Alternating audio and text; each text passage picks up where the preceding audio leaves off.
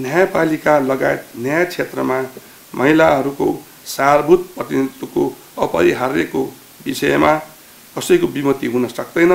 मानव अधिकारको घोषणापत्र लगायत सो सम्बन्धी अन्तर्राष्ट्रिय दस्तावेजहरूले समेत यसको आवश्यकता र अपरिहार्यताको बारेमा उजागर गरेको पाइन्छ। साथै यो विषय दिगो विकासका लक्ष्य हासिल गर्ने तथा तथा लोकतन्त्र विधिको शासन समानता र सामाजिक न्याय सुनिश्चित गर्ने महत्त्वपूर्ण आधार पनि हो। न्यायपालिकामा महिला न्यायाधीशहरूको उपस्थिति वा प्रतिनिधित्व विषय सङ्ख्यात्मक मात्र होइन।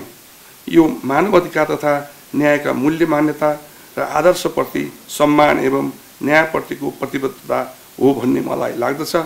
न्यायपालिकामा महिला न्यायाधीशहरूको सम्मानजनक उपस्थिति र प्रतिनिधित्वले समानताको प्रत्याभूति गर्दछ जसबाट आम नागरिकले न्यायिक काम कारबाहीमा समानताको अनुभूति गर्न सक्दछन्।